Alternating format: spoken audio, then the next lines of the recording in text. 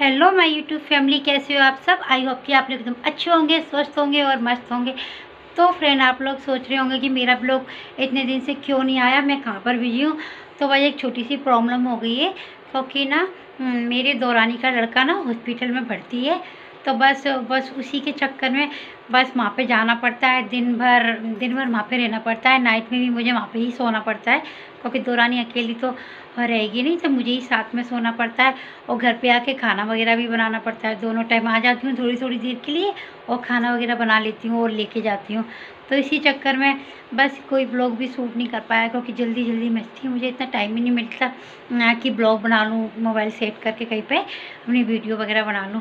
तो बस और थोड़ी बहुत थोड़ी बहुत क्लिप मैंने बनाई हुई है तो मैं आपको आ, ये तो मतलब जो मैं आज वीडियो वीडियो बोल रही हूँ ना बना रही हूँ तो ये तो उसे तीन दिन हो गए हैं अभी भर्ती हुए और ये उसके बाद जो है मैं आगे का आपको दिखाऊँगी तो फिर अभी भी मैं खाना बना रही हूँ और सब्ज़ी यहाँ पे मेरी बन चुकी है यहाँ पे सब्ज़ी बन गई है और ये दूध गर्म हो रहा है और बस अब आटा लगा लूँगी। आटा मार के रोटियाँ बनानी है मुझे और बस रोटी वोटी बना के टिफ़िन लेके जाना है मुझे हॉस्पिटल में। तो बस मैं लेके जाऊँगी और फिर मैं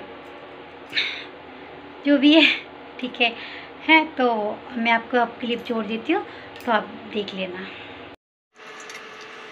उसके बाद ये फिर, फ्रेंड उस दिन का क्लिप है जिस दिन हमने लड़की को एडमिट किया था तो मैंने सुबह नाश्ते में बनाए थे पोहे और पोहे बनाने के बाद फ्रेंड हम्म, मेरी ना फ्रिज में मलाई रखी हुई थी काफ़ी टाइम हो गया था तो मैंने इसको क्या बना नहीं पाया था ये दीपावली से इकट्ठी हो गई थी मतलब टाइम ही हो गया तो मैंने कि चलो इसे भी कर देते हैं तो यहाँ पर मैंने मलाई में से मक्खन निकाल लिया है और बस गरम करने के लिए यहाँ पर रख दिया है और बस इसे थोड़ी देर ये अच्छे से बॉयल हो जाए तो बस हमारा यहाँ पे घी भी रेडी हो जाएगा और फ्रेंड ना कुछ प्रॉब्लम आ जाती है तो बहुत भागा दौड़ मच जाती है।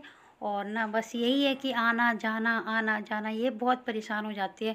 फिर घर पे आके काम वगैरह करो तो बहुत थक जाते हैं। और इस चक्कर में मैंने ना कोई ब्लॉग भी शूट नहीं कर पाया।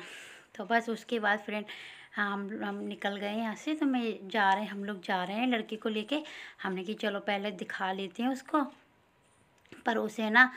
डॉक्टर ने बहुत तो छोटा सा बच्चा है अभी चार साल का बच्चा है पर उसे ना उसके ना पेट में बहुत प्रॉब्लम हो गई है। उसके लीवर में ना आ, कुछ सूजन टाइप की बताई है और लीवर में आ, वो कहते नहीं पल्स क्या बोलते हैं पस पड़ जाता है मवाद पड़ गया है। तो यहाँ पे हम अल्ट्रासाउंड करवाने आए तो अल्ट्रासाउंड में बस यही निकला है कि उसके ना पूरे पेट में इन्फेक्शन उसके छाती तक आ गए आ गया है। तो बस ये छोटा सा बेटा है, और ये मेरी दो रानी है। तो हम लोग यहाँ पे बैठे हैं, अल्ट्रासाउंड करवाने आए हैं। बस अल्ट्रासाउंड करवाने के बाद डॉक्टर ने उसे एडमिट कर लिया है। तो देखो कितने दिन में छुट्टी करते हैं वो। तीन या चार दिन देखो कितने लगते हैं। और उसके बराबर और फिर मैं अब घर से आ चुकी हूँ। और घर पे आने के बाद बस अब मैं हॉस्पिटल से भी आती आ रही हूँ। सात बजे का टाइम हो गया है। मुझे दिन भर हो गया हॉस्पिटल में और आप समझ सकते हो इतनी आदत तो है नहीं है दिन भर ऐसे बैठने की। सब कुछ बस अब अभी आई हूँ मैं और आके बस मैंने चाय बनने के लिए रख दिए और बस अब जो भी है और, और आई हुई हूँ तो मैं इसलिए आई हूँ क्योंकि ना मुझे अभी ना खाना वगैरह बनाना है। क्योंकि ना हॉस्पिटल में तो मैं ही रहूँगी और यहाँ पे खाना भी तो बनाना पड़ेगा वो कौन बनाएगा? इसलिए मैं थोड़ी देर के लिए घर पे आ गई हूँ अभी और मैं खाना बना रही हूँ। और यहाँ पे चाय बन रही है, चाय बन चुकी है मेरी। और वह चाय बना के और यहाँ पे देखो मेरी बर्तन भी पड़े हुए हैं सिंक में, क्योंकि सुबह ऐसे ही जल्दी छोड़ गए थे, जल्दी जल्दी चले गए थे। और बारह बजे लड़का एडमिट हो गया था और ऐसे ही छोड़ के चले गए थे। और अब आई हूँ, अब काम करूँगी, अब घर का खाना भी बनाना है। तो चलो फिर अब चाय वगैरह मैं पीती हूँ, क्योंकि मेरे सर में बहुत दर्द हो रहा है। बस चलो ठीक है, थोड़ी देर बाद मिलती है।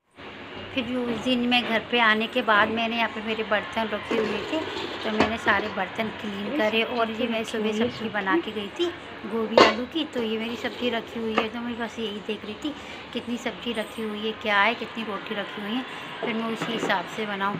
और फिर सच बताऊँ तो खाना वैसे का वैसे ही तू का तू रखा हुआ है किसी ने नहीं खाया। तो ये ऊपर की जो चार पाँच रोटी है तो ये तो मतलब सुबह की तो मैं इनको हटा रही हूँ कि ये कोई नहीं खाएगा। ये बाकी के चार पाँच है कि तो ये तो चलो हम लोग खा लेंगे। तो बस, उसके बाद मैंने थोड़ी सी रोटियाँ और बना ली और मेरी दो रानी वहाँ पे है हॉस्पिटल में तो मैंने उसके लिए टिफ़िन लगा लिया और और लड़के के लिए एक केला रख लिया। वैसे तो वो कुछ खा नहीं रहा, पर तो भी मैंने रख लिया है और उसके पास टोस्ट वगैरह, बाकी की चीज़ें, सेब वगैरह वहाँ पे और भी रखी हुई है। तो बस टिफ़िन लगा के अब मैं तो नाइट में मैं वहीं पे जा रही हूँ क्योंकि और यहाँ पे और भी देखो मरीज़ है, सब लोग बढ़ते हैं। हॉस्पिटल तो कोई जाए नहीं, कभी कोई हॉस्पिटल का तो नाम ले ही नहीं। मुझे तो हॉस्पिटल से बहुत ज़्यादा डर लगता है। और यहाँ पे ये लेटे हुए हैं बच्चे, दौरानी। और ये बिल्कुल अपनी मम्मी को छोड़ता नहीं है, अपने बगल में ही लेटाला रहता है। तो बेचारी वो तो नहाने भी नहीं जा पा रही है घर पे।